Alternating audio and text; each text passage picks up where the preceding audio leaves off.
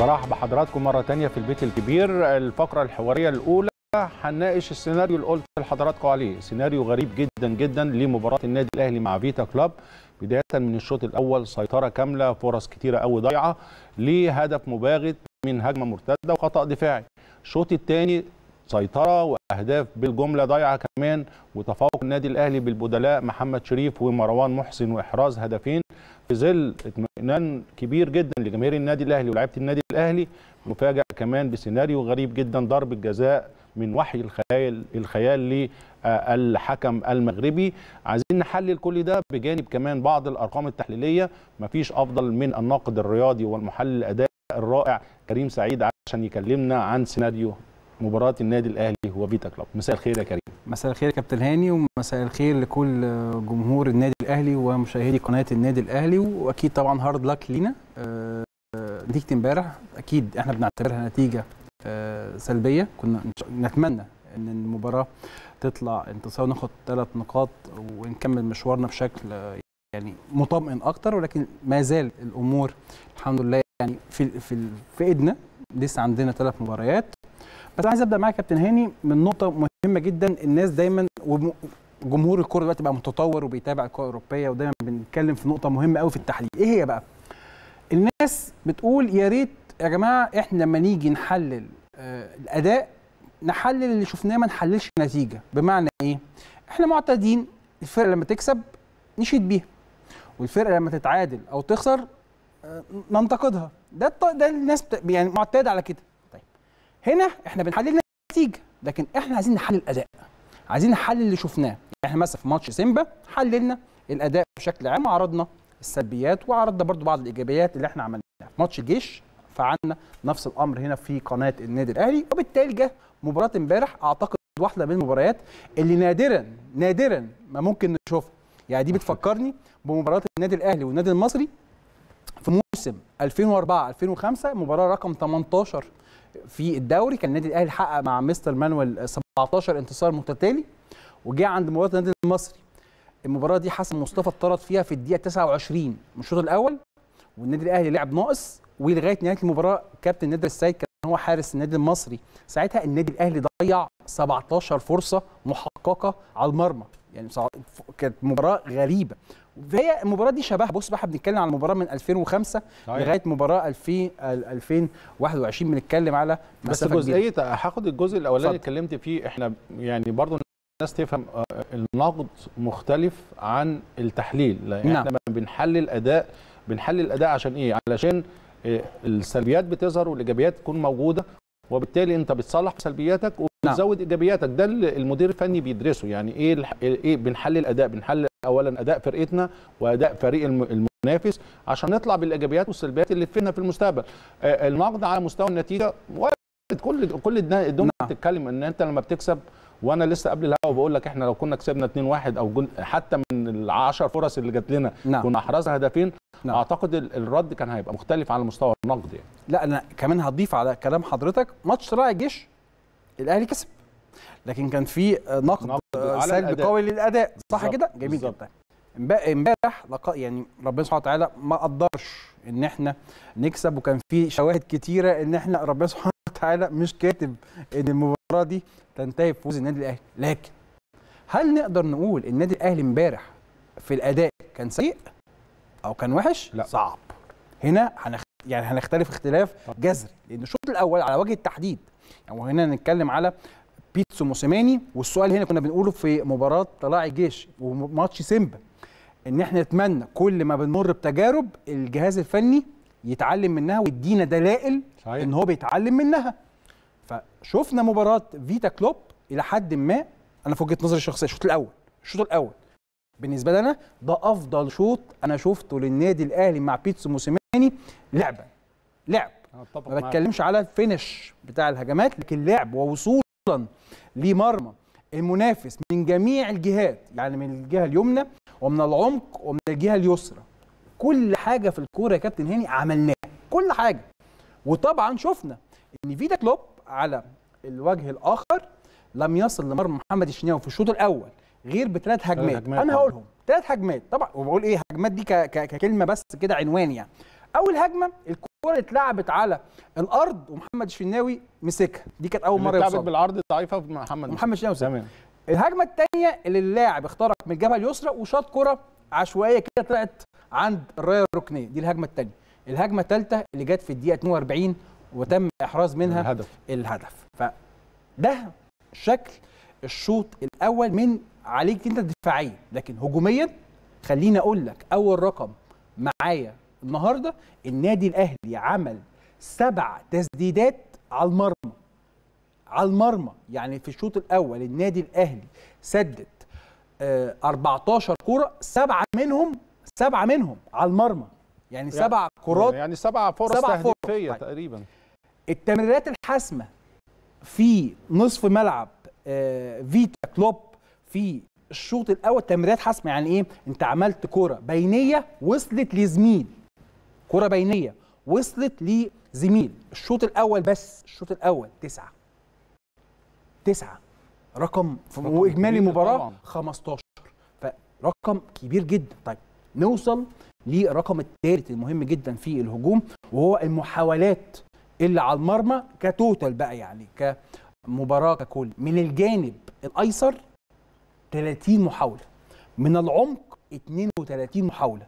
من الجانب الأيمن 44 محاولة. وبالتالي الأرقام بتفسر لنا الشكل اللي إحنا شفناه. إحنا النادي الأهلي في الكورة ككورة وكتكتيك امبارح بيتسو موسيماني لعب بال 4 2 3 1 المعتادة رجع اليو ديانج جنب عمرو السولية ودخل مجدي قفشة playmaker وحط والتر بواليا المهاجم ولعب بيه وتقريبا تشكيلة مثالية آه. يعني وإحنا في الهجوم في الهجوم كنا بنلعب بطريقة أقرب إلى 2 4 4 ليه هو دايما كان مطير مطير هاني وأيمن أشرف. هاني وأيمن أشرف طبعا بعد إصابة محمود. وحيد طبعا بتمنى له الشفاء بعد النهارده يعني هو في تمزق في العضله الخلفية وإن شاء الله يرجع النادي الأهلي قريب. والشكل الهجومي كلنا نتفق إن النادي الأهلي رغم التأخر في النتيجة الحاجة الوحيدة اللي ممكن نقول يا جماعة إحنا اتأخرنا في النتيجة هي الكلمة بتاعت اللي ضيع يقبل. بس لكن ما حدش يقدر يقول إن إحنا قدمنا نفس الأداء اللي قدمناه قدام طلائع الجيش لا طبعا. أو سيمبا. صعب. صعب جدا تلاقي حد يمتلك هذا الرأي. وبالتالي نخش الشوط الثاني. المدير الفني دخل 45 دقيقة الثانية وهو متأخر في النتيجة. تعالى يا كابتن هاني نعمل فلاش باك لماتش لتحليلنا لماتش سيمبا. لما قلنا إن تغييرة آه، محمد شريف ومروان محسن في نهاية المباراة كانت كانت لازم تبقى. جيدة. آه. لكن كان المفروض كانت تبقى بدري شوية. بدري شوية صحيح. مبك... عشان تديهم فرصة مظبوط إن هم يجي لهم كرات عرضية كتيرة ويجي لهم محاولات أكتر وبالتالي تقدر تديهم المساحة إن هم يقدروا يحرزوا أهداف ناس بتحب تلعب خماسي أنا لو أنت النهارده قاعد احتياطي والماتش كله على بعض 20 دقيقة فأنت عايز تنزل طبيعي. بس خمس دقائق ما تنزلش دقيقة أو دقيقتين فبالتالي شفنا بيتسو موسيماني لما لقى إن والتر بواليا خلاص الحظ والتوفيق خلاص مش مساند ليه قوي وخلاص مش- المهاجم آه، بدأ. هو كمان يضغط نفسيا لما صحيح. حط ايده على راسه بعد الفرصة اللي الانفراد ضيعها خلاص هو اللاعب خرج بره الجيم. فطلعه هنا هو صحح الجزء اللي كان كنا بنتكلم عليه في ماتش سيمبا وادى مساحة مساحة زمنية أكبر لمحمد شريف ومروان محسن. طيب مع نزول محمد شريف ومروان محسن تم تغيير الخطه لأنها تعتمد على اثنين رؤوس حرب واعمل برضو فلاش باك مع حضرتك ولما اتكلمنا على دور مروان محسن وقلنا إن مروان محسن ميزته الكبرى والمميزة جدا جدا جدا لما بيلعب في خطة تعتمد على اثنين حد يكون جنبه يعني. بالظبط ورؤوس حرب اثنين بحيث إنك ترمي لهم كم هائل من الكرات العرضية. هتلاقي إن محمد شريف مع مروان محسن مع دخول اجاي مروان عمل فرصة فرصة كورة. حلوة قوي من أول كورة حط لا هو غير الهدف كمان عمل assist حلو قوي أعتقد لمحمد شريف في, في من خلال المباراة. ودي النقطة اللي أنا عايز أتكلم مروان محسن. مروان محسن قدر إن هو يحقق هدف التقدم يعني أنت جبت التعادل وجبت التقدم في الدقيقة كام يا كابتن هاني؟ 76 يعني أنت ما وصلتش بقى لإيه؟ ل plus 90 وزي ما إحنا. بنتكلم. لا أنت قدرت تحقق التارجت بتاعك في الدقيقة 76 وخليني برضه أقول لك إن رقم مميز. النادي الأهلي في الشوط في المباراه ككل عمل 30 كرة عرضية. في الشوط الثاني بس 18 كرة عرضية بعد نزول محمد شريف ومروان محسن. يبقى هنا بالنسبة لي كبيرة جدا. المدير الفني أرى الشكل بشكل جيد أرى المباراة والأحداث. بشكل جيد. الشوط الأول هو المسيطر. في طبعا bad luck حصل في كم هائل من الفرص وعدم تركيز ورعونة في ال finish من اللعيبة. وبصراحة اجاييه بيس- بيواصل التألق بتاعه. وشفنا عمل assist في الشوط الأول لحسين الشحات. يعني assist ما يطلعش إلا من أحلى playmaker صحيح. في في الدنيا ال vision بتاعته والرؤية كانت ممتازة جدا الشوط الثاني قدر موسيماني هو يغير الطريقة دي نقطة بس اللي أنا حاسس إن إحنا ربما كنا عندنا احتياج ليها إن أنت عندك ديانج ورك ريت عالي ربما لو كان تم الاحتفاظ بيه علشان عشان بنتكلم على ديانج على أساس إن تاني حسينا آخر ربع ساعة حتى بعد ما جبنا الهدف التاني نعم. إن ما كانش في ضغط عالي شوية في نص الملعب بالظبط. وحتى ضربة الجزاء الوهمية اللي حصلت طبعا. نتيجة آه، عدم ضغط ووصلنا اللعيب لغاية ما يخش ال 18 يعني. ورغم طبعا طبعا ركلة الجزاء مش محتاجين طبعا نتكلم عليها إن هي واضحة جدا وبصراحة أنا بقول ده رضوان جيد حكم ممتاز وواحد من أفضل حكام أفريقيا وأنا بعتبرها له خطأ يعني نادر ما يحصل منه لأن شفنا الحكم ده السنة اللي فاتت في مباراة الأهلي والهلال السوداني في السودان كان أكثر من رائع وبصراحة حكم أثر طبعا، يعني طبعا، يعني طبعا، طبعا. أثر على نتيجة المباراة بشكل طبعا طبعا بشكل كبير لكن يعني. زي ما الحكم بيغلط زي ما الحكم غلط الغلطة القوية دي وكان يعتبر ده دي اوف ليه طبيعي. ده دي اوف ليك إنها هتتحسب في تاريخك اوف لينا آه أكتر بالظبط هي دي اوف لينا أكتر يعني هو. دي اوف لينا. إحنا برضو كأداء إن أنت وصلت للمرمى بشكل كبير جدا جدا جدا ولكن التوفيق لم يحالفك في فرص كتيرة اللي أتيحت لينا على مدار الشوط طب خليني آخد برضو صف الجماهير كده ويعني أنا طبعا. ك- كمدير فني سابق وفي نعم. نعم. في الكورة أكتر شوية لكن هتكلم بلغة الناس ال- العادية يعني واحد يقول لك طب أنا إيه لازمتها الأرقام دي لاعب من ناحية الشمال 30 ومن نعم. الوسط 40 ومن اليمين آم، آه، 25 كل نعم. الأرقام دي في الآخر والنتيجة طلعت 2 2 إيه فايدة الأرقام ديت مهمة جدا عشان ما تشوفش الأداء. مثلا بقول مثلا أنا كوجهة نظري الأداء اللي شفناه في الموسم بتاع جريدو. لو إحنا جبنا مثلا موسم جريدو وحطينا الأرقام بتاعته قدام الأرقام اللي معايا دلوقتي هنلاقي فيه فوارق شاسعة. هتلاقي إن النادي الأهلي إذا كانت النهارده كل ال- النقد واقف بس على ال finish فدي نقطة نقدر نشتغل عليها. لكن ما أقدرش أشتغل على ال base كله. يعني ما أقدرش. أشتغل على ال frame كله. بمعنى إيه؟ عشان بس أوضحها للسادة المشاهدين. أكيد طبعا أي فريق بيعاني من بعض المشاكل. كل فرقه عندها مشاكلها. لو مثلا فريق عنده أصلا مشكلة في الوصول للمرمى فدي مصيبة. دي كارثة. لكن أنا بوصل. لكن مشكلتي في ترجمة الفرص. طب أنا هقف عند دي يا اتفضل. وهكلمك تاني طبعاً، بلغة طبعاً، الجماهير طبعاً، العادية. ده جميل جدا. آه، المسؤولية كاملة تقدر تحطها على المدير الفني ولا على اللعيبة ولا على الحكم. عندنا ثلاث ثلاث أطراف يمكن طبعا. الناس اتكلمت عليهم بشكل طبعا. كبير. مسؤولية ال- النتيجة 2 2 تحملها لمين؟ يعني في ناس بتقول لا موسيماني ما عندوش لأنه راجل الطبيعي إن المدير الفني نعم. ال- الكويس إن هو بيخلق فرص للتهديف وبيوصل فرقته للثلث الهجومي. ناس تقول لا على المستوى على المستوى التغييرات على مستوى آه، زي ما انت قلت ممكن ديانج شوية كان استنى على مستوى الدفاع وهنتكلم على مستوى الدفاع النادي الأهلي بدأ يخش في جوان بشكل مبالغ. فيه غير السنة اللي فاتت أو على مستوى التحكيم عندنا ثلاث نقط أنت تقول conclusion كده إيه، سبب التعادل 2 2 في أنهي منطقة أكتر إحنا طبعا متفقين يا كابتن هاني إن تحليل الكورة هو وجهات نظر طبعاً، كل واحد طبعا, طبعاً. أكيد بيبقى له وجهة نظر ما فيش وجهة نظر مطلقة صحيحة صحيح. ومفيش وجهة نظر مطلقة خاطئة. كل واحد بيشوف الدنيا من منظوره بالظبط. وكل واحد بيبقى عنده مبررات صحيح. أنا في ماتش سيمبا شفت إن كان في إلى حد ما بعض الاخطاء التكتيكية من عند بيتسو موسيماني وفعلا هنا في قناة الأهلي استعرضناها. مباراة طلائع الجيش أنا أرجعت المباراة رغم الانتصار. الأداء الإجهاد كان واضح جدا. إحنا. مجهدين وأثبتنا بالأرقام وبالصور إن الإجهاد هو كان الأزمة في المباراة دي. ماتش فيتا كلوب مباراة دفاع مفتوح قدامنا وبصراحة فيتا كلوب عندهم مشاكل دفاعية كتيرة جدا. أنا امبارح أرجع المسؤولية ما أقدرش امبارح بصراحة ألوم بيتسو موسيماني في أي شيء ربما أنا من وجهة نظري ككريم سعيد إلا في حاجتين بس. أنا دول نقطتين ومتعلقين بالقرارات في اختيار اللاعبين. يعني أنا مثلا هتيجي تسألني ككريم سعيد أقول لك لا ابدأ بمحمد شريف. خلي كبدايه كبداية والتر بوتر. يعني. بيمر فترة صعبة شوية ابدأ بح- ده وجهة نظري. تمام. آه، وجهة نظري في التغيير كنت شد عمرو السوليه ونزل ديانج تكتيكيا في أرض الملعب. المدير الفني عمل كل التاسكات بتاعته. وصلك لمرمى المنافس من اليمين ومن العمق ومن الشمال بكل الارقام المتاحه في الشوط الثاني لما لقى إن الدنيا بتضغط عليه وإيه بيخسر هو متأخر في النتيجة متأخر ومضغوط. وقت. مظبوط. يعني أنت متأخر نتيجة ومضغوط في الوقت الوقت بيمر عليك. قلب طريقة اللعب بحيث نسهل على اللعيبة مسألة الوصول بمعنى أنزل اتنين رؤوس حربة وبدل يا جماعة بقى ما نقعد نلعب كرة على الأرض وتيكي تاك لأ أنا آسف ارمي الكورة على الطرف وارمي الكروسات.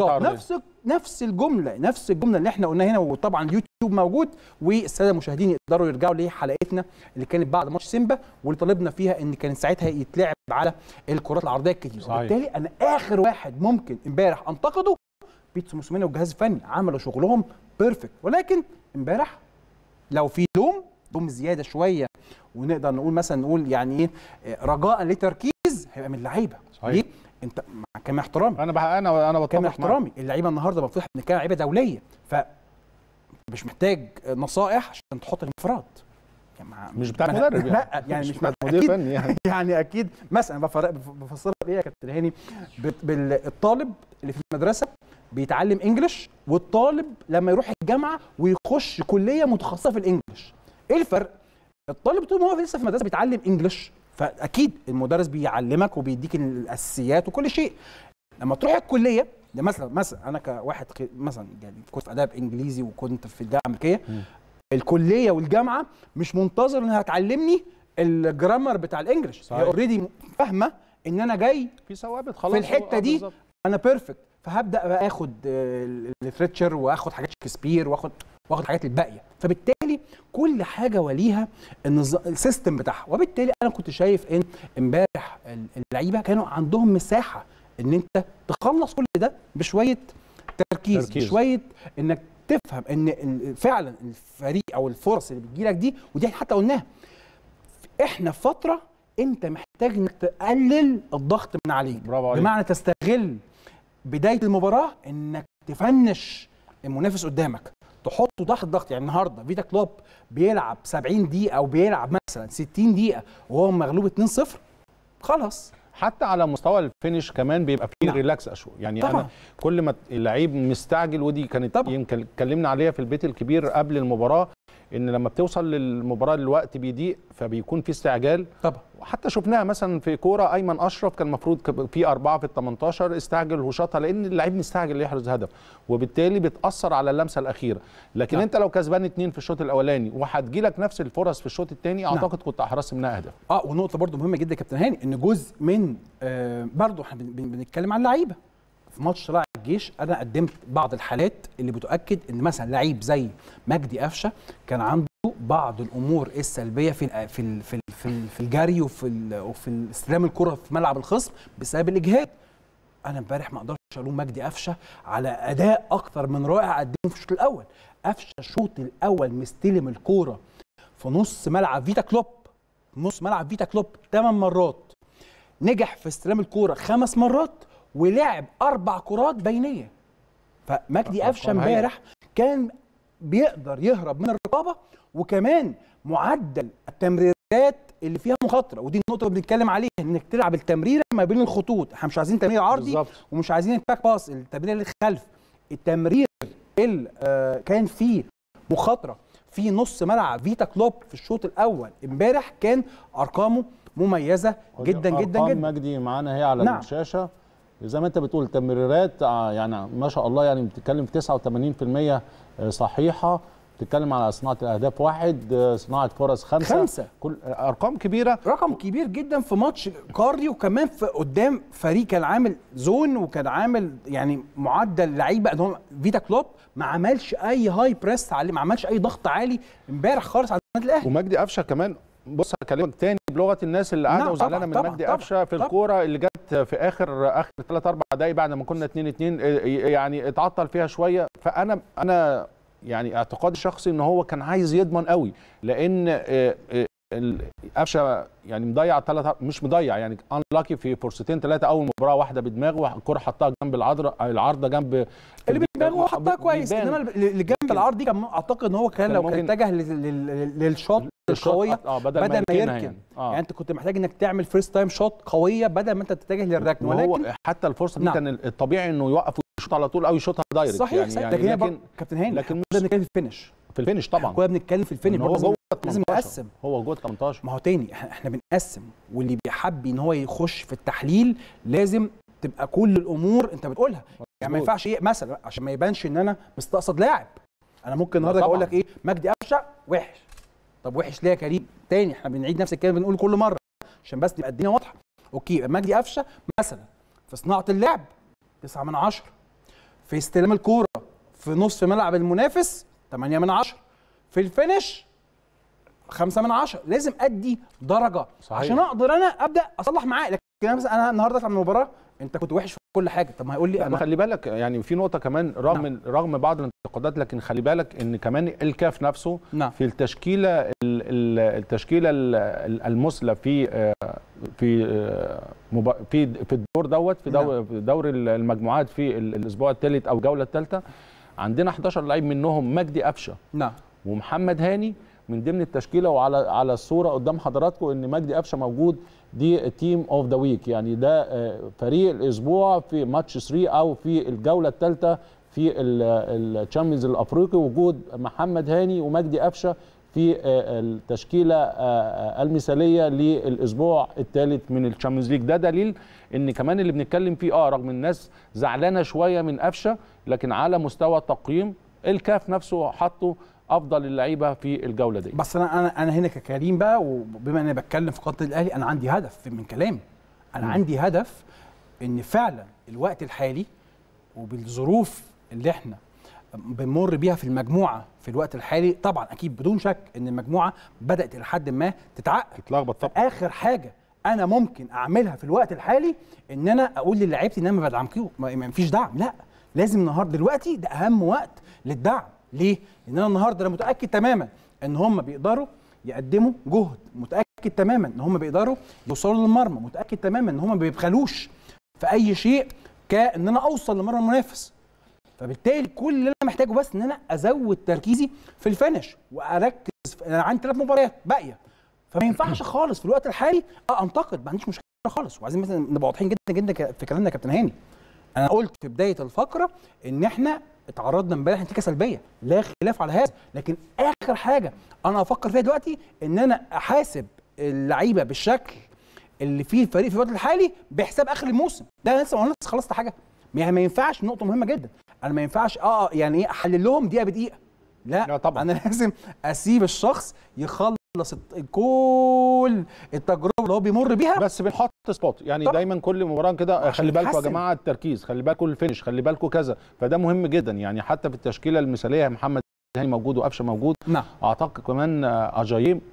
في اعتقاد الشخص كان لازم يبقى موجود بأرقامه ممكن كمان. طبعا عشان في لعيبة أخرى تألقوا بشكل في نتائج أفضل. يعني أيوب الكعبي طبعا امبارح جايب هدف خرافي. فريق الوداد طبعا طبعا جايب كويس. هدف خرافي امبارح. backward حلو جدا جدا. ولكن في كل الحاجات دي برضه يا كابتن هاني أنا ما باخدهاش حتى كنقاش. يعني إحنا أنا مش إحنا مش الهدف إن أنا هدي الدنيا خالص. أنا هدفي إن أنا أقول للناس ده وقت الدعم. وهدي. مثل بسيط جدا.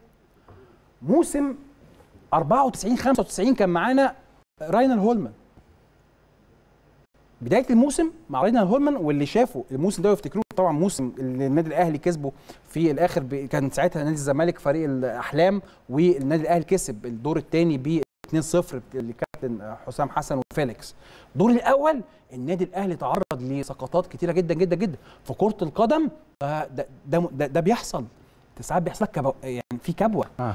في ده بيحصل والسيناريو بتاع آه. بصراحة السيناريو بتاع. امبارح ما يعني ما بيتكررش في بيحصل وياما ياما النادي الأهلي تعرض لكبوات صح. هي الفكرة مظبوط ساعتها بقى تعمل إيه؟ هل النهارده ما طبعا أنا عارف النهارده إحنا في عالم social media طبعا وكلنا تاني هو بكرر دي وجهة نظري يا كريم سعيد ما بفرضش على حد كل واحد له وجهة نظر إنما أنا في وجهة نظري الوقت الحالي للأداء اللي هو ما فيهوش رعونة كان أنا النهارده بخيل في الجهد أو ما بجريش أو النهارده في إن أنا- كسل. آه، أو لا. في كسل أو في النهارده عندي مشاكل فنية كبيرة. لا لازم أفرق. ليه؟ لأن برضو العقاب أو الحساب له طريقة. أنا النهارده ما ينفعش حد يعني يخطئ في جزء معين وأروح معاقبه عقاب شديد جدا فخ- فأخسر بقية المشوار. أنا المشوار ما خلص وده اللي قاله موسيماني في المؤتمر الصحفي بعد المباراة. في حد من السادة الصحفيين سأله طب وهتعمل إيه مع اللعيبة؟ قال له اعمل إيه مع اللعيبة؟ أنا لازم أكون بالذات في الفترة ديت سبورت للعيبه ما تنساش دول اللي خدوا الدوري والكاس وبطولة آه، أفريقيا وخدوا كاس آه، مركز ثالث آه ممكن جدا نركز على بعض النقاط اللي لازم اللعيبة على سبيل المثال التركيز لازم يكون موجود وإن الفرص دي ما تضيعش بسهولة كده. لكن أنا محتاجهم كمان في في المشوار اللي جاي محتاجهم في ماتش مباراة الإسماعيلي محتاجهم هناك في في في الجنوب نعم. وبالتالي آه، وجهة نظرك أكيد أكيد تحترم وأعتقد كل جماهير النادي الأهلي تقبلها بكل ارتياحية يعني. وخليني كابتن هاني أخدك نقطة مهمة جدا برضو قلناها هنا أهو في البيت الكبير بعد مباراة سيمبا ساعتها أنا قلت لك ايبنجي المدير الفني لفيتا كلوب أنا متأكد إن هو في ماتش العودة هيختار الساعة 3 العصر صح مظبوط ميعاد للمباراة رغم إن إحنا دايما تاريخنا مع فيتا كلوب وأندية الكونغو الديمقراطية سواء مازامبي دايما بنلعب الساعة 5 أو الساعة 6 لما الكاف عمل التوقيتات الجديدة بتاعت 3 6 9 واضح جدا إن الراجل هيختار لنا برضو 3 العصر وطبعا ملعب الترتان بتاع آه فيتا كلوب واحد من ملاعب الترتان. اللعيبة ما بتحبش تلعب على الترتان. فبالتالي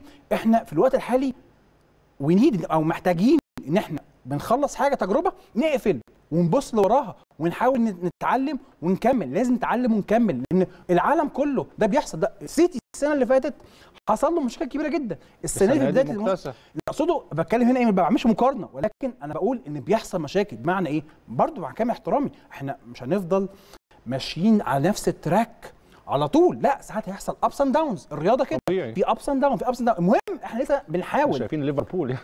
لا يا كابتن. هاني وكمان بنحاول. إحنا إيه مهمتنا؟ ان إحنا نقلل فترة ال down صح. هي جت. okay. محتاجين بقى نعمل إيه؟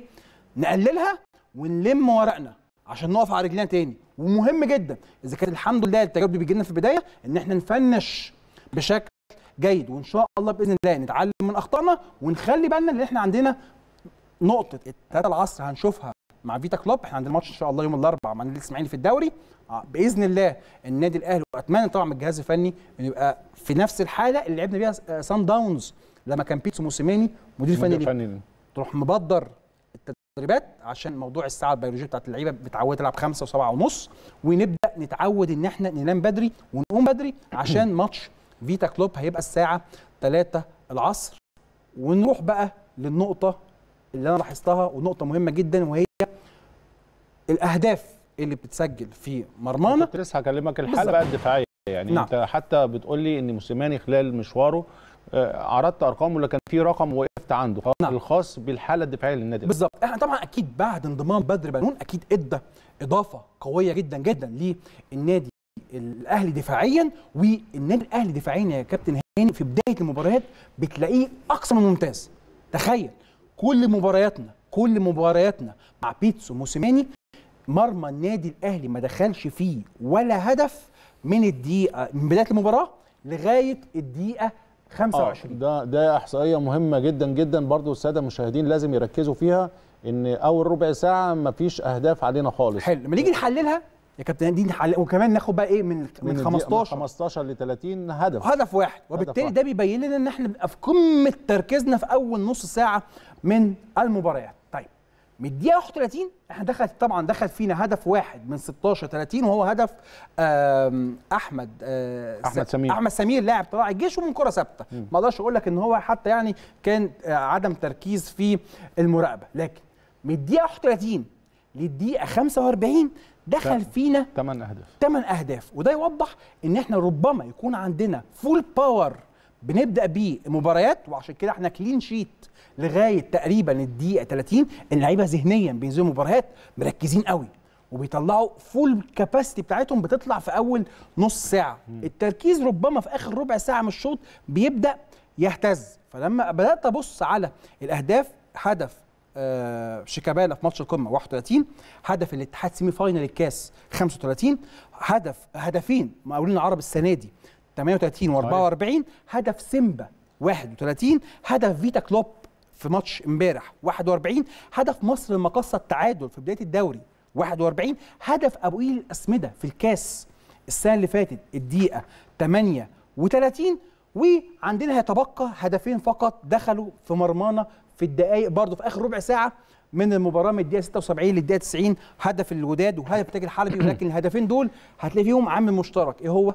إن إحنا كنا أحرزنا عدد كبير طيب من. إحنا دايما أو المدربين دايما بيقفوا أو المحللين دايما بيقفوا على ال- التوقيت بتاع إحراز الأهداف ديت نعم لو في أول ربع ساعة بيقول لك مفيش تركيز وإن نعم. البداية لازم تكون أقوى من كده نعم لو في آخر المباراة بيعمل عملية إجهاد. وإن اللياقة البدنية لما بتقل التركيز بيقل فبيخش أهداف. نعم. لكن الرقم من 30 ل 35 أو من 45. من 45 آسف. تحلله إزاي؟ لأن اولا أنت في كامل لياقتك البدنية نعم. يعني مش هتقول ده في آه، في جهد جهد عالي. نعم. وبالتالي أنت كمان عديت حمى البداية صحيح. البداية وبالتالي ش- شايف الرقم ده تحليله الفني يكون إزاي بالنسبة للموسيماني شوف يا كابتن هاني أنا بشوف دايما إن لعيبة النادي الأهلي في معظم الأشواط الأولى بنقدم أداء أفضل من الأهداف. يعني دايما إحنا بنقدم أداء أقوى من مسألة إحراز الأهداف. حتى ربما مباراة المريخ ال- بالظبط. آه، الشوط الأولاني 0 صفر 0 صفر. والشوط الثاني جاب ثلاث أهداف. وبالتالي بتشوف إن ده الأشواط الثانية للنادي الأهلي مع بيتسو موسيماني بتبقى أفضل في التهديف تهديف. من الأشواط الأولى وده يؤكد إن بيتسو موسيماني بيقدر يحل بعض الأمور. يعني إحنا عندنا جملة مشهورة خدناها من التعليق. الشوط الثاني شوط المدربين ده الشوط اللي أنت بتحاسب عليه المدير الفني. وبالتالي طالما إن أنت بتوصل للمرمى في الشوط الثاني فده بيؤكد لك إن المدير الفني ده ما بين الشوطين بيقدر يحل بعض الأمور سواء النفسية أو الفنية اللي بتخلي اللعيبة يقدروا صحيح. يحرزوا أهداف في الأشواط التانية طيب إحنا عندنا تاسك في الشوط الأول. وتاني إحنا بنتكلم إن لسه الامانه برضو دي نحطها دايما إن بيتسو موسيماني ما خدش فترة إعداد مع الفرقه عشان نبقى واضحين مع بعض. وإحنا بنحاسب بقى عشان مثلا نبقى واضحين طالما إن أنت عايز تحاسب يبقى تجيب كل النقط المتاحة قدامك. الشوط الأول إحنا بنقد بدايتنا في الأشواط الأولى كلها بيرفكت بنبدأ بهجوم قوي وكاسح. والمنافس بيرجع وبيقلق جدا جدا جدا من أدائك ورغم بعيدا عن مباراة سيمبا اللي هي كانت الساعة 3 ومباراة راعي الجيش اللي كان فيها بعض المشاكل البدنية. وبالتالي إحنا عندنا أنا في وجهة نظري أرجع سبب دخول الأهداف مرمانا في آخر ربع ساعة هو إن اللعيبة لما بتعمل محاولات كتيرة على المرمى المنافس والفرص دي لا تترجم إلى أهداف ربما يجي حالة من ح... بعض كده من حالات الإيه؟ الإحباط. طب أنا بدأت إيه؟ أنا عمال أحاول أحاول أحاول أحاول ما بجيبش أهداف. فبفقد تركيزي في بعض الأحيان. بعض الأحيان دي بيقدر المنافس إنه يستغل فرصة. ممكن أحلل برضو من آه وجهة. نظري. اتفضل. يعني أنت بتتكلم على عملية إحنا الشوط الأولاني بنأدي بشكل كويس لغاية الدقيقة 30 بنهدر فرص كتير فبيجي عملية نوع من أنواع الإحباط رد الفعل رد نعم الفعل نعم. مش وارد إن نتيجة إن إحنا بنكتسح الشوط الأولاني بنعمل فرص لل- للتهديف فرص لكن ما نعم. بنحرزش أهداف بيوصل للعيبة إن لا إحنا هنجيب جول إن المباراة بتتسهل ممكن. ان المنافس طبعاً. مش على قدر المسؤولية ممكن وبالتالي الجزئية دي لما بتخش دماغ اللعيب أوتوماتيك ممكن. بيقلل شوية عملية مثلا الارتداد السريع بيقل طبعاً. عملية الضغط بتقل. هو سهلة. هت... الكرة هتتجاب طب أو- حلوة جدا يعني أو. أو كده كده. يعني إحنا هنجيب جول. طبعا. بلغة الكرة طبعاً. لا إحنا قريبين فهنجيب جول في أي وقت. فده بياخد من تركيز اللعيبة في الحالة الدفاعية. نعم. وده لازم ده لازم آه، حتى موسيماني يشتغل عليه صحيح. اللعيبة تشتغل نعم. عليه. ودي نقطة مهمة جدا لينا إحنا. إحنا يعني إحنا خلاص وقفنا على رقم. وطالما الرقم يا كابتن هاني اتكرر يبقى هو يبقى يبقى طبعاً- يبقى إحنا محتاجين نخلي بالنا منها. يبقى إحنا محتاجين في الفترات الجاية بإذن الله بإذن الله بإذن الله والكمال لله وحده. إحنا طبعا أي حد عنده أخطاء والإنسان الذكي والإنسان الشاطر هو اللي يشوف خطأه فين ويبدأ يصححه. إحنا محتاجين طالما جت علينا الدقيقة 30 عقرب الساعة جه. على الدقيقة 30 ونشوف النتيجة عاملة إزاي. يا جماعة ما ما تخسروش تركيزكم.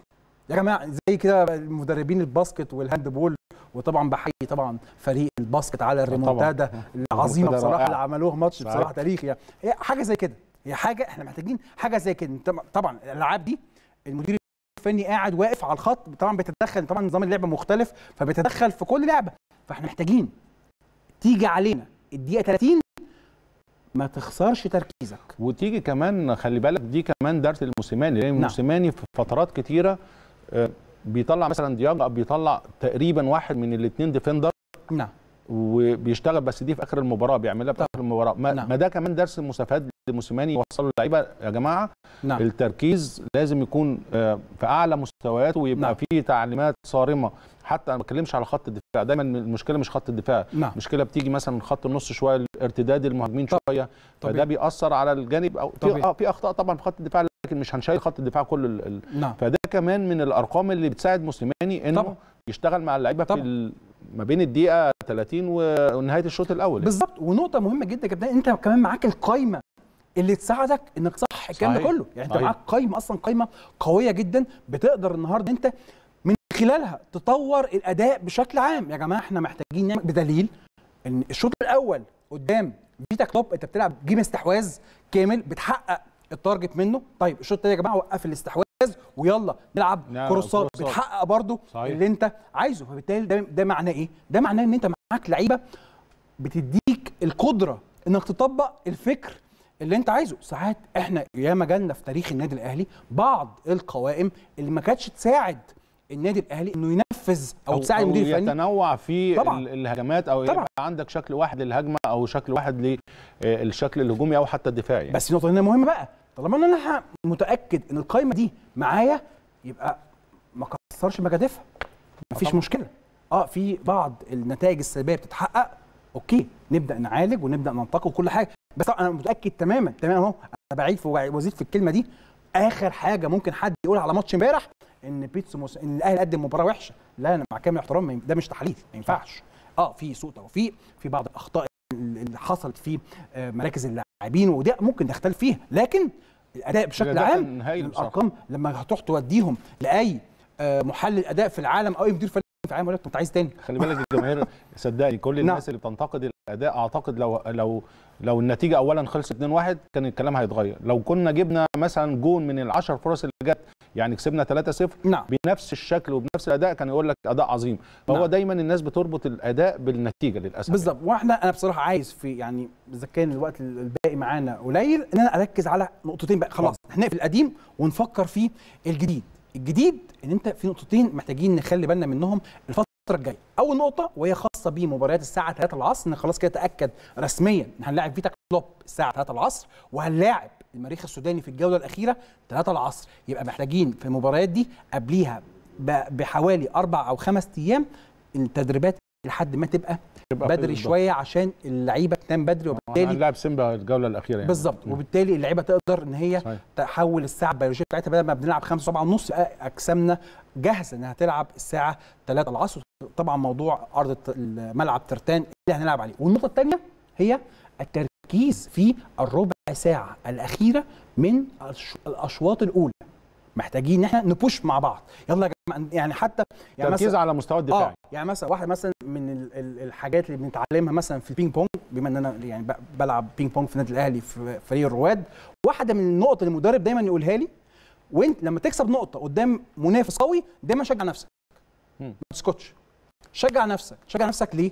عشان دايما تخلي نفسك focused دايما تخلي مركز. نفسك مركز وتخلي نفسك فايق. خدت نقطة شجع نفسك عشان تكمل اللي بعديها. شجع نفسك شجع نفسك. شجع نفسك فدي نقطة. إحنا في وجهة نظري محتاجينها من ال basket محتاجينها من ال handball محتاجينها من تنس الطاولة. انك تيجي عليك الدقيقة 30 شجع نفسك. يلا يا جماعة هنثبت وهنكمل ودي وهنت... تيجي- بتيجي من جوه الملعب وبتيجي. من الإدارة الفنية كمان وهي بره. نقطة نفسية بحتة. ما فيهاش إحنا ما بنتكلمش خالص على اخطاء فنية خالص. هي مش مش خطأ فني. لا دي نقطة نفسية. طالما إن الأمر تكرر كذا مرة في وحتى. وحتى لو في أخطاء فنية أنا برجع لها إن بيبقى ساعات اللعيب ضمن بشكل كبير جدا إن إحنا يا جماعة الماتش. بتاعنا متفق إحنا راكبين الماتش بلغة الكوره كده راكبين الماتش وهنجيب جون هنجيب جون صحيح. وبالتالي بيوصل له إحساس إن حتى لما بتيجي هجمة خطر كده كده تركيزه بيقل. فبيغلط فدي جزئية مهمة جدا إن شاء. الله نعالجها بإذن الله حاجة أسألك على آه، اللي عدى خلاص يعني. المباراة وعدت. أكيد السيناريو آه، إن شاء الله آه، علشان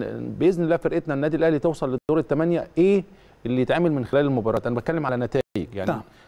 أكيد المباراة آه،. بيتا كلاب. مباراة صعبة هناك يعني فاشرح لنا كده أنا دايما يعني. بشوف في دور المجموعات لدوري أبطال أفريقيا من خبراتنا مع بطولات دوري الأبطال في السنوات آه، الماضية إن أنت دايما بتقسم البطولة ماتشات على أرضك وماتشات خارج أرضك أنت بيبقى المفروض بيبقى عندك ثلاث ماتشات على أرضك يفترض إنك تاخد منهم التسع نقاط وعندك ثلاث ماتشات خارج أرضك في وجهة نظري الشخصية محتاج إنك تاخد منهم أربع نقاط بحيث إن يوصل عدد نقاطك 13 نقطة وفي أفريقيا اللي بياخد 13 نقطة في وجهة نظري بيتصدر. بيتصدر. يعني إحنا زي أوروبا ما بنوصلش 15 و16 وكده. وفي بعض الحالات النادي الأهلي وصل ب 11 نقطة بس كان نعم. يعني وصل كتاني. مجموعة يعني. فإحنا دلوقتي واقعيا إحنا واقعيا إحنا خسرنا خمس نقاط.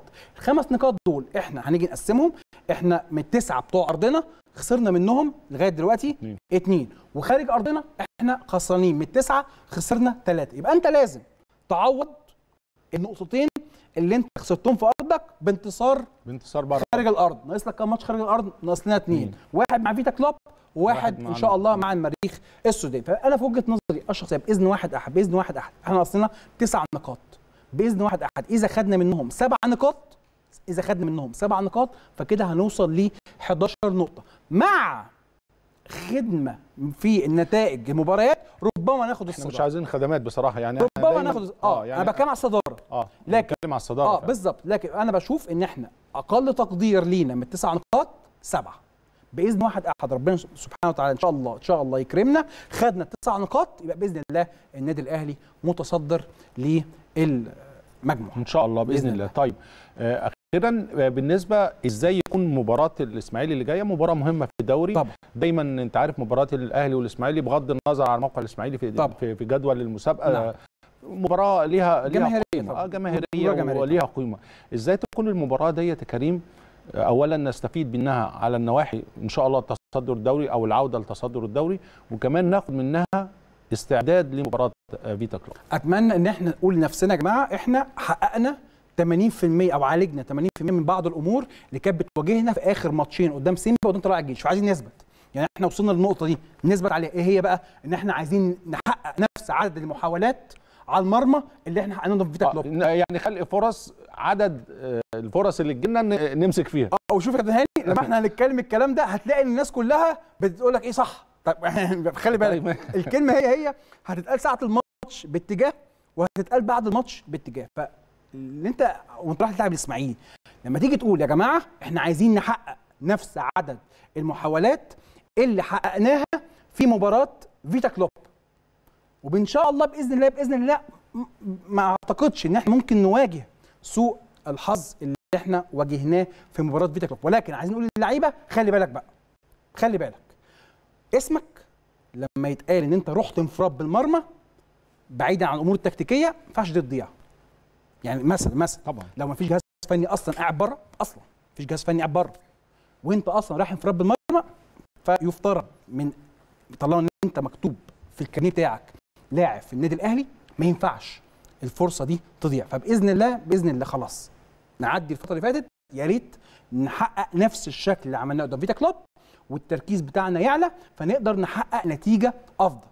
طيب حققنا مثلا أنا بحب يعني بحب لغة الأرقام إنها بتديك مؤشر تطور الأداء بتاعك. طيب بإذن واحد أحد بإذن واحد أحد حلينا جزء من موضوع الفينش. نبدأ نقول لنفسنا طب نثبت على كده والمرة اللي بعديها نزود بحيث حققنا 50% نحقق المرة اللي بعديها 70% حققنا 70% نوصل ل 90% لازم تبقى لغة الأرقام هي اللغة اللي بتسود الأسلوب ما بيننا. ليه بقى يا كابتن هاني؟ عشان اللعيبة النهارده الجمهور بيقول أوحش حاجة إنك تطلع لعيب آه، سابع سما ولما يخسر تروح منزله سابع أرض. لا أنت عايز تبقى يعني في الوسطية. عايز تقول للعيب أنت غلطت في كذا وأجدت في كذا. أنت غلطت في كذا واجدت والمدير الفني انت غلطت. في كذا وأجدت في كذا بحيث يحصل نوع من التطور. وأنا أديت مثل بمستر هولمان في موسم 94 95 الدور الأول إحنا متأخرين عن نادي الزمالك بفارق ست نقاط كاملة فريق فريق كان قوي جدا نادي الزمالك. الدور الثاني النادي النادي الأهلي فنش ال- ال- الدوري قبل نهاية ال- ال- الدوري بأسبوع. وانت أصلا كنت داخل الدور الثاني إحنا آخر مباراة لينا. في الدور الأول أنا فاكر كنا بنلاعب نادي المقاولين العرب في استاد القاهرة. نادي المقاولين كسبنا 2-0 في آخر خمس دقائق وكلنا قلنا خلاص شكرا الدوري راح. الدور الموسم اللي وراه الدور الأول. انت مبتعد عن نادي الزمالك ب 13 نقطة. لك أن تتخيل لك أن تتخيل إن ساعتها كان في ال social media الجزء السلبي فيها. بقول لك الجزء السلبي كان موجود. كان الفريق عمل إيه؟ الفريق انهار. صحيح. كان الفريق انهار تماما. إن أنت مش هتقوم على رجله. عايز تعمل دفع. لازم الناس تختار إمتى الوقت. لأن طبيعي الرياضي هيحصل له أي أيام drop هيحصل لك أيام آه، نتائجك مش ماشية معاك. فأنت محتاج إيه؟ الرياضي محتاج دفعه الرياضي محتاج الناس. تقف في ظهره. أنا معاك وخاصة لما آه، المدير الفني بيبص على اللعيبة والأساسيات بتتعمل. يعني. مجهود أكتر من رائع. طبعا آه، خلق فرص موجودة. بتتكلم على آه، في بعض الأحيان آه، بيبقى فيها انلاكي يعني عدم توفيق وده مش في إيد اللعيبة ولا الجهاز الفني. نعم. النقط اللي أنت اتكلمت عليها مهمة جدا يا كريم إن إحنا نقف عند الحتة دي إن إحنا نخلق فرص بهذا الكم بالظبط. ولكن تترجم بأهداف. بالظبط. جزء منها يترجم بأهداف. مش كل. ما هنروح خمسة هنجيب خمسة طبيعي. بالظبط. لكن على الأقل ما تروح خمسة تجيب هدفين فده مقبول. الجزء كمان الأهم إنك بالأرقام اللي أنت قلتها على المستوى الدفاعي من الدقيقة 30 للدقيقة 45 نعم. يكون في شغل جامد جدا إن كمان اللعيبة لازم تفهم انك تركيزك لازم يكون عالي جدا خاصة في الفترة ديت لأن عندك ديفو في الحتة ديت وطبيعي إن لازم تركيزك يكون طوال المباراة. لكن لو أنت عندك ديفو في الدقيقة من 30 ل 45 لا يبقى في ألارم بالنسبة للجهاز الفني للعيبة إن إحنا رغم تفوقنا ورغم إنك آه،. مسيطر لكن ممكن في أي وقت يجي في الجول. وتاني أنا بكرر هي نفسية. بمعنى هي مش مش مش مش خطأ فني خالص. لا ده نقطة نفسية. اللعيبة محتاج من الدقيقة 30 للدقيقه 45 تشجع نفسها شجعوا نفسكم. بس الجهاز الفني يقف على الخط برافو يلا نكمل. ما. ما, ما, ما, تخسرش تركيزك. آه، خلي بالك. حتى even even لو انت بتلاعب منافس رايح عليك واحد على خمسة ركز. فاهم قصدي يا كابتن هاني؟ الأمور دي ربما تكون بسيطة جدا لكن بتفرق إن هي جزئيات. يعني مثلا جون فيتا كلوب. ال details الصغيرة دي بتفرق ما هو جون. فيتا كلوب إيه يا كابتن هاني؟ لاعب جناح جه من الطرف. بدل يعني هو اختيار أيمن كان خاطئ. هو افتكر إن هو آه، هياخده دخله على جوه. راح واخد دخل على جوه. وشاط الكورة. الكورة ارتدت. نفس اللاعب هو اللي كملها. فاحنا ما بنتكلمش أصلا ولا في جملة ولا بنتكلم إن في screen اتعملت على لعيبة النادي الأهلي ولا بنتكلم إن في حصل اختراق 1 2 اتلعب. خالص. ده مجهود فردي بحت. صحيح. فده يوضح لك إن في عدم عدم تركيز تركيز. أو زي ما حضرتك تفضلت وقلت في تقليل شوية بان فيتا كلوب مهما عمل مش هيوصلوا أصلا محمد الشناوي. خلي بالك برضو يا كريم أنت اتكلمت على جزئية مهمة جدا إن إحنا الشوط الثاني اتعمل اتعمل كورسات كتيرة جدا. نعم. واشتغلنا من اليمين آه، كويس اشتغلنا من الشمال كويس. نعم. لكن كمان لو استعرضنا معاك أرقام ال- المباراة امبارح هتلاقي إن إحنا مسددين 28 تسديدة. نعم. منهم 14 على المرمى. تسديدة على المرمى. سبعة في الشوط الأول وسبعه في الشوط الثاني فده تنوع كمان يعني الناس اللي يعني عشان تاني نقول إن في فرق إنك بتنتقد نتيجة وفي نعم. فرق إنك بتقيم أداء. على صحيح. مستوى الأداء التقييم كان أداء أكتر من رائع. ويمكن ال- الأرقام على على الشاشة عندنا. ويعني أنت برضو أنت تحللها معايا يا كريم. طبعا كانت التمريرات نفسها طبعا بتور- بتوريك هي مؤشر الماتش. تخيل فرقة عاملة 652 تمريرة وفرقة عاملة 298 تمريرة. بنتكلم تقريبا في أكثر من الضعف وبالتالي التصويب على المرمى 28 آه، مرة. أنا بس مش شايف الرقم بتاع فيتا كلوب. آه، ست مرات. يعني 28 تسديدة مقابل ست تسديدات فيتا. كلوب.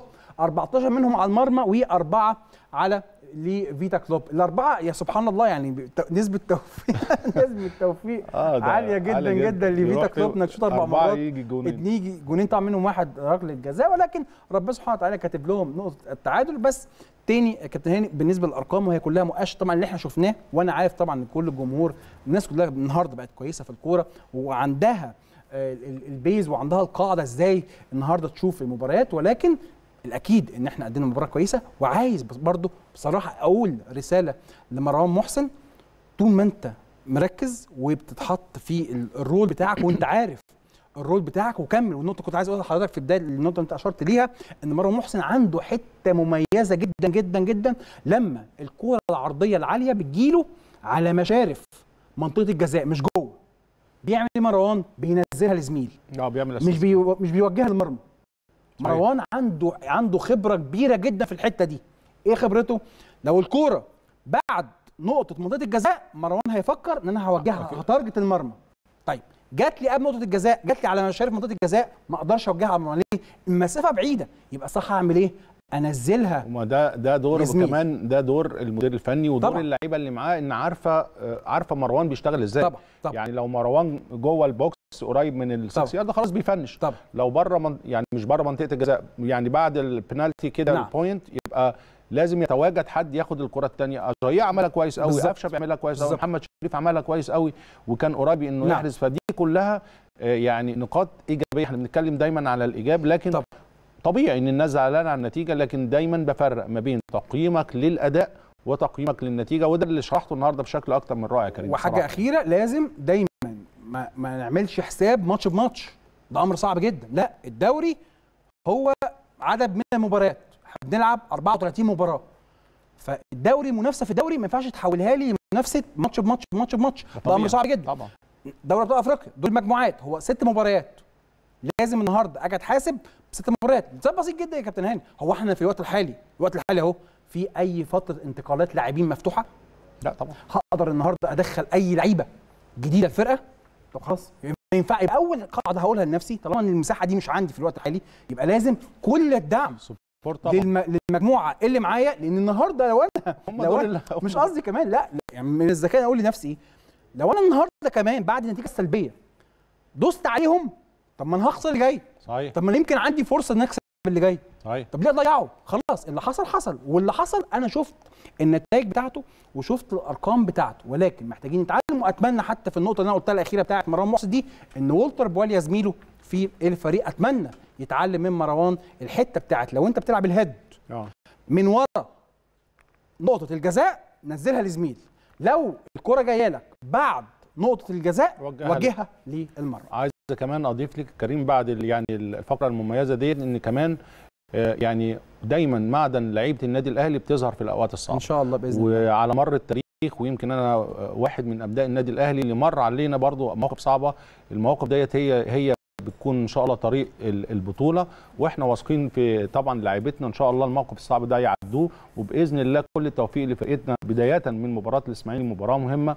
استعدادا لمباراة طبعا فيتا كلاب. وباذن الله زي ما بقول إحنا جماهير النادي الأهلي وأنا واحد منكم كجماهير ومحب النادي الأهلي support لفرقتنا مهما كان support للجهاز الفني support للعيبة وإن شاء الله بإذن الله كل التوفيق لفرقتنا إن شاء الله مباراة الإسماعيلي ومباراة فيتا كلوب آه، كريم بنشكرك شكرا جزيلا وفقرة شكراً جزيلاً. دايما مميزة شكرا كده جزيلا يا كابتن هاني كنت سعيد متواجد مع حضرتك شكرا شكرا ليك. شكراً. دي كانت طبعا نهاية فقرتنا مع كريم بعد الفاصل الكابتن الكبير محمد عامر